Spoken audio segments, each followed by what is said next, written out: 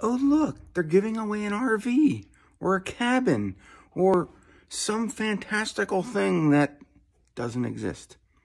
No, it doesn't exist. And most of these people that are sharing these types of pages don't even bother looking if it exists.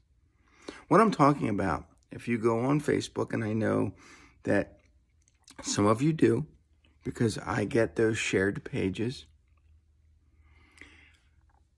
are these pages that are shared out that says, you want a free RV or, or, you know, click this and you could be entered to win a free cabin or whatever nonsense it is. And these people don't even bother checking to see if it's real. And most times it's, oh, it's a real page.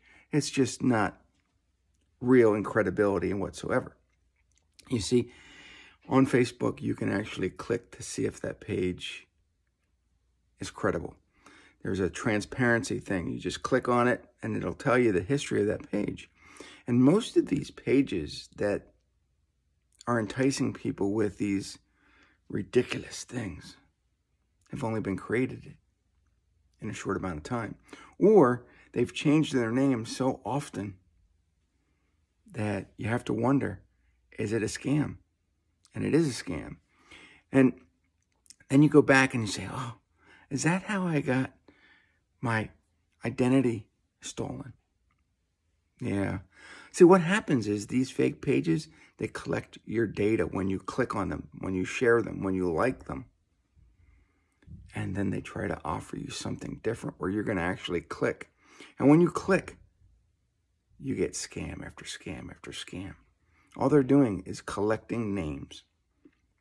So when you see pages like that, go on, check the transparency, and then call them out go to that social platform and say, look, this is a fake page. I want you to do something about it.